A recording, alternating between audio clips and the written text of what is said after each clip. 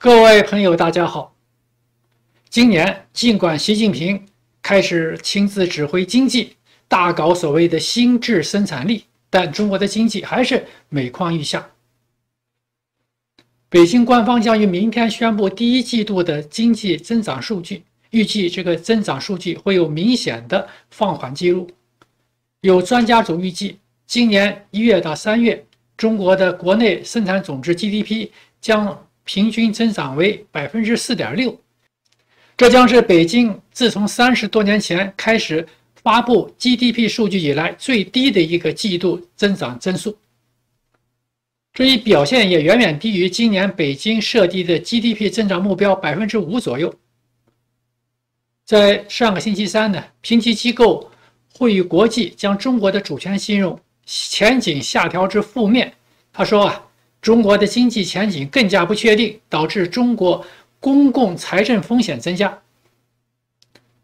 可以说，现在北京当局是使出了所有他们能用的办法，但是呢，中国的经济还是提振不起来，还是继续下跌不休，每况愈下，创造了三十年来的最低经济增长。中国经济这样的每况愈下，当然和美国有非常大的关系。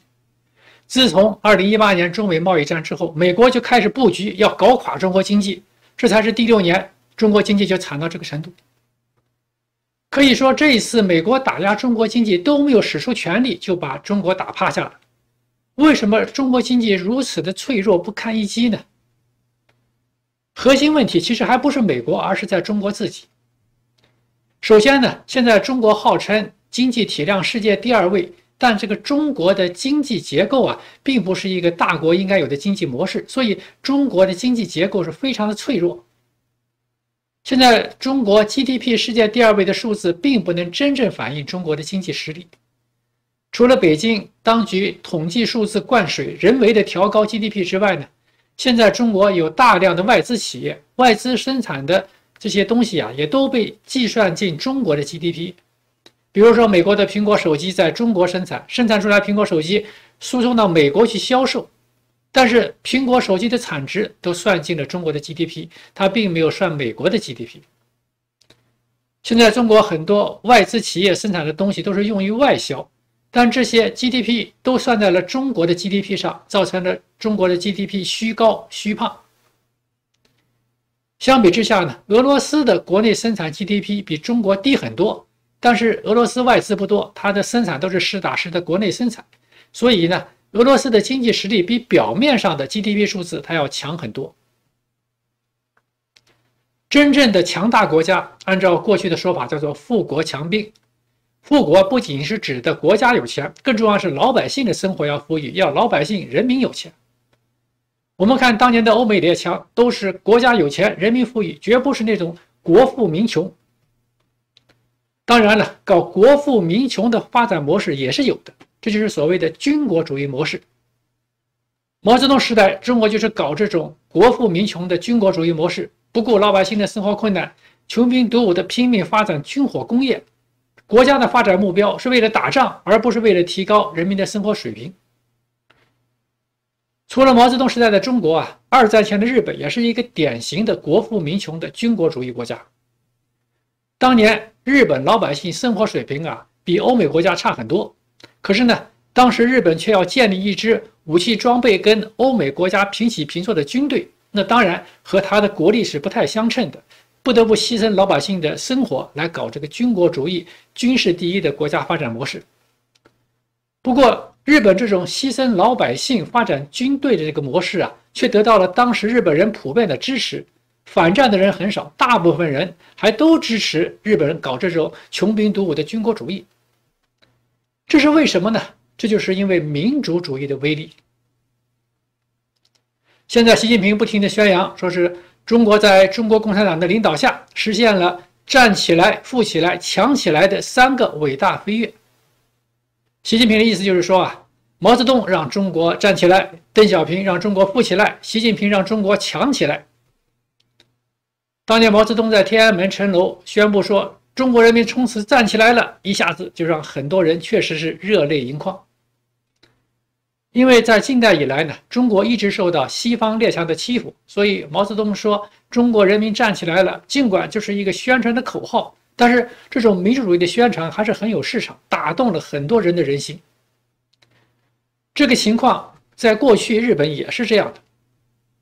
在一八四零年鸦片战争之后呢，中国遭到了英国为首的西方列强的入侵，被迫签订了很多丧权辱国的条约。那时候中国人觉得自己很屈辱。在过去，日本其实也是一样。日本在中国之后，也是遭到了西洋列强的入侵，也和西方国家签订了很多丧权辱国的条约。当时候，日本人也觉得自己很屈辱了。所以呢，日本发起明治维新，提出富国强兵的国家建设目标，并不是说是要让老百姓富起来。他们指的富裕是国家富裕，因为当时他们认为啊，国家富裕、兵力强大，比老百姓富裕更重要。在当时那个时代啊，一个国家没有一个强大的军队，确实也是站不住的。我们看二十世纪初的亚洲，除了中国、日本两个独立国家之外，其他国家都沦为了西洋列强的殖民地。比如说，印度是英国的殖民地，越南是法国的殖民地，菲律宾是美国的殖民地，印度尼西亚是荷兰的殖民地。所以呢，日本如果不建立一支强大的军队，早也沦为西洋列强的殖民地了。不过呢，现在习近平说中国强起来，他只是嘴上喊口号，中国老百姓并没有感到说中国真的强大起来了。可是当年日本老百姓啊，确实还真就感到日本强起来了，强大起来了。日本在一八九五年的甲午战争打败了当时统治中国的大清帝国，在一九零五年的日俄战争又打败了欧洲列强的俄罗斯帝国，创造了第一个非白人国家打败白人国家的先例。在当时也是一个十分震撼的事情。那对于日本老百姓来说，虽然说大日本帝国取得这些胜利，对他们的生活也没什么大的改善，但是却让他们所谓的民族精神爆棚了。日本人觉得我们大日本帝国确实强大起来了，已经成为世界一等强国了。也就是说啊，日本搞军国主义的发展模式，虽然没有让老百姓生活有多少提高。但是因为不断的在战争中取得胜利，让老百姓的自豪感爆棚，所以呢，日本老百姓觉得他们做出生活上的牺牲，让日本这个国家强大起来，给他们带来无比的自豪感，这一切也是值得的。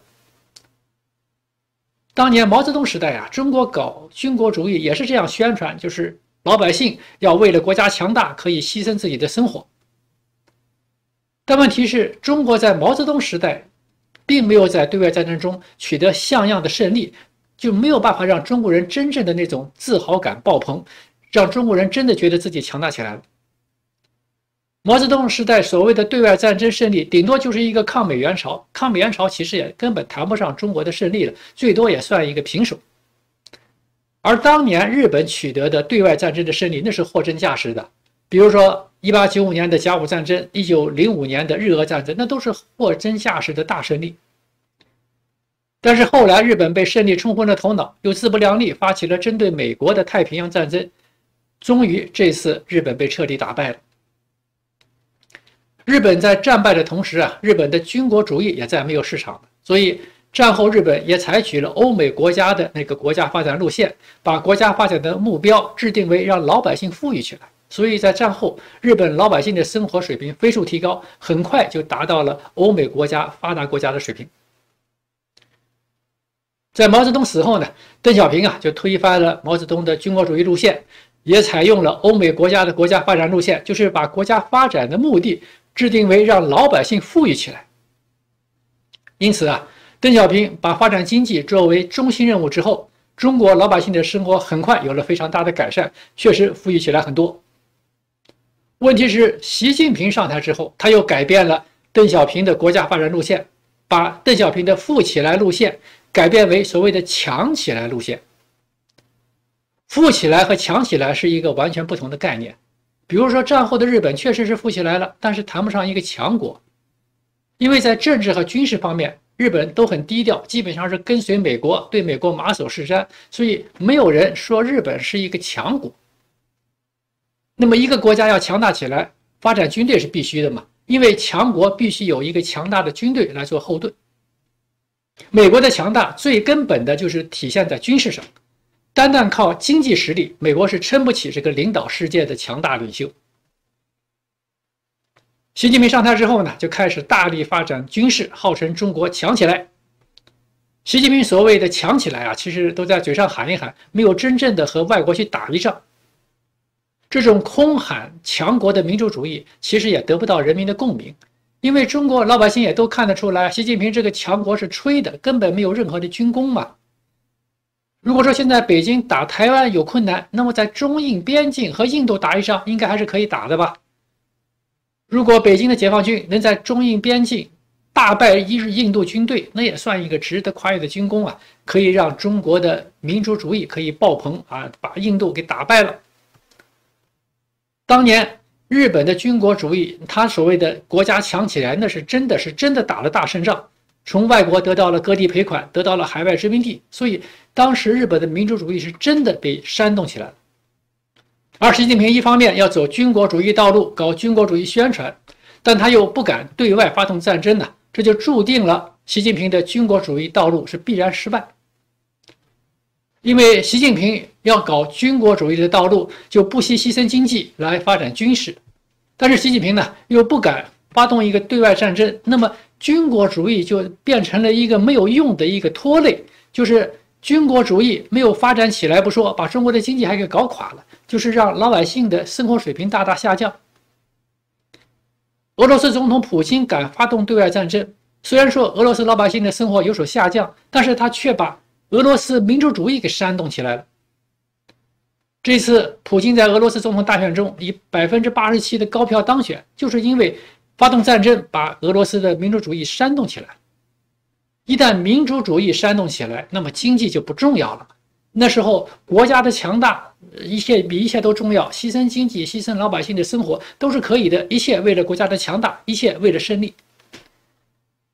那么习近平一方面要搞。军国主义的宣传，搞民主主义的宣传，一方面又不敢打仗，这当然中国的民主主义是没有办法来真正煽动起来。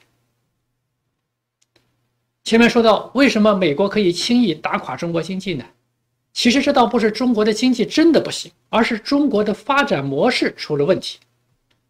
现在习近平最重视的就是国家安全，要发展军事，要强大军队，他并不在乎是不是经济能够发展起来，所以呢。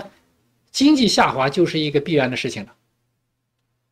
现在中国国内的经济内循环基本上都垮掉了，只剩下对外出口的外循环了。那么，这种依靠对外出口外循环来维持经济的模式，那是必然非常的脆弱。如果中国要发展一个强大的内需，让老百姓富裕起来，那美国人拿中国还真没什么办法，因为中国自己搞内循环嘛，美国你制裁也没什么用。现在，习近平为了发展军事，就把中国的内需搞垮了。他只好把发展经济指望在出口这个外需上，而中国最大的出口对象又是美国。这样，美国就轻而易举就能把中国的经济搞垮嘛？因为中国的经济就是依靠向美国出口来维持。一旦美国对中国卡脖子，搞死中国经济，那是很容易的嘛。所以，现在中国的经济每况愈下，评级机构。与会啊，就将中国的主权信用下调至负面，人们对中国的经济是没有信心了。其实啊，这个没有信心，关键还不是因为中国的经济真的不行了，而是中国走上了一条发展军国主义的道路。